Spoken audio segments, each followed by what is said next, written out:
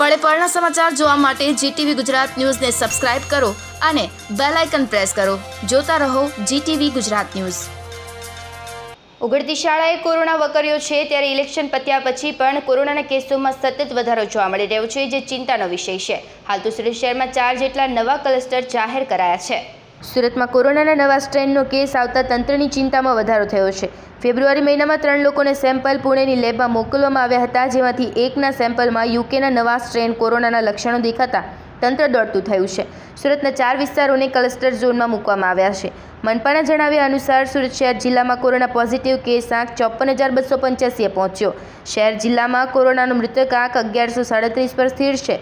ગતરોજ શહેરમાં પંચોતેર જિલ્લાના સાત લોકો મળીને બ્યાસી લોકો સાજા થયા, જેથી રજા અપાઈ.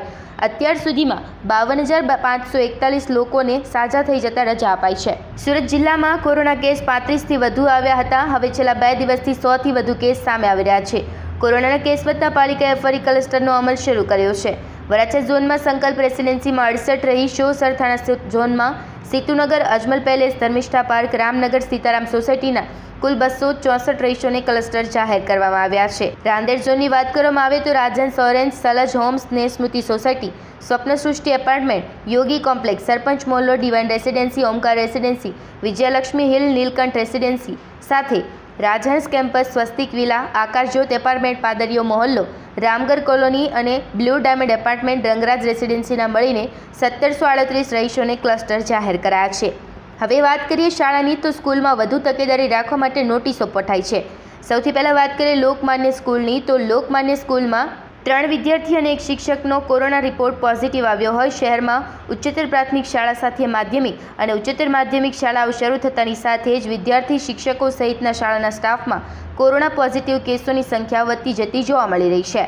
રાંદેર ઝોન વિસ્તારમાં આવેલી આઠ સ્કૂલોમાં પાંચસો અગિયાર જેટલું લોકોનું ટેસ્ટિંગ કરાયું, જેમાં એક પણ કેસ સામે આવ્યો નથી. જ્યારે મોરા ભાગળ મોરારજી નગરમાં લોકમાન્ય વિદ્યા સ્કૂલમાં ધોરણ બાર સાયન્સમાં અભ્યાસ કરતી એક વિદ્યાર્થીનીને શંકાસ્પદ લક્ષણો જણાયા.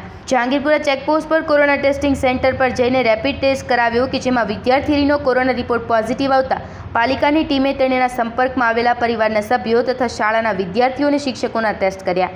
ટેસ્ટિંગ દરમિયાન ધોરણ બાર સાયન્સના અન્ય બે વિદ્યાર્થીઓ સાથે સાયન્સના જ એક શિક્ષકનો રિપોર્ટ પોઝિટિવ આવ્યો હતો જો કે પાછળથી પોઝિટિવ આવેલા ત્રણેયમાં કોરોના વાયરસના લક્ષણો જોવા મળ્યા ન હતા.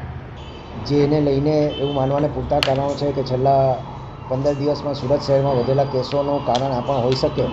આથી તમામે તમામ શહેરીજનોને અપીલ છે, તેમજ અનુરોધ છે કે તેઓ સોશિયલ ડિસ્ટન્સિંગનું અમલ કરે, બિનજરૂરી સોશિયલાઇઝેશન ટાળે, માસ્કનો ઉપયોગ મેક્ઝિમમ કરે અને સેનિટાઈઝરનો ઉપયોગ કરે કે જેથી તેઓ પોતે સુરક્ષિત રહે પોતાના પરિવારને અને સાથે સાથે શહેરને પણ સુરક્ષિત રાખવામાં સુરત કોર્પોરેશનને મદદરૂપ થાય.